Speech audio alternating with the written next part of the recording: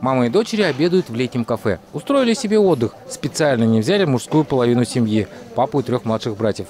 В этой семейной ситуации, казалось бы, ничего обычного нет. Ангелина не родная дочка Елены. Вместе со своей мамой она приехала из другой страны. Но женщина скоропостижно скончалась, 16-летняя девушка осталась одна, без документов. Российская система помощи предложила Ангелине так называемую ресурсную семью. Ее не взяли под опеку, не удочерили, временно дали возможность пожить в семье, а не в социальном центре. Она такая добрая. Вот кажется, она, знаете, когда с ней кто-то вот начинает только общаться, как будто она такая колючка. На самом деле она такая ранимая, и она так старается это скрыть.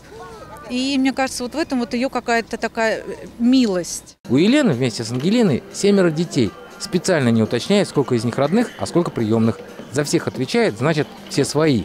Ресурсная семья – это временное решение, пока не определилась судьба ребенка, внезапно оставшегося без родителей. Когда приходит ребенок, ты уже изначально к нему немножко относишь так, как будто он к тебе в гости.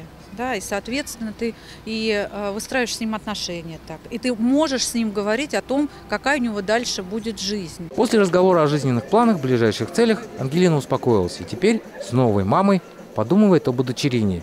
Ей хорошо в новой семье. А еще чувство юмора у них совпадает. Смеются над шутками друг друга. Я хочу сдать экзамены, восстановить документы после утери и поступить в колледж, получить хорошее образование.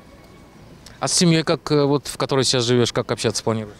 Все хорошо, планирую дальше здесь быть, продолжать жить все вместе. Ангелина с новой мамой и сестрой пришли в парк раздолья не случайно. Здесь устроили большой праздник для приемных и опекунских семей. В какой-то степени Ангелина с Еленой – первопроходцы. Проект с ресурсными семьями реализовывался в Подмосковье в пилотном режиме. За это время 14 детей в Одинцовском округе прошли через такие семьи, а не казенные учреждения. С июля месяца этот эксперимент будет уже внедрен во всей Московской области, и это позволит сократить количество детей, которых временно по тем или иным причинам помещают в организации. Наше общество и государство старается помочь всем детям, оказавшимся в беде, чтобы дать им то, что нужно каждому ребенку – заботу и любовь.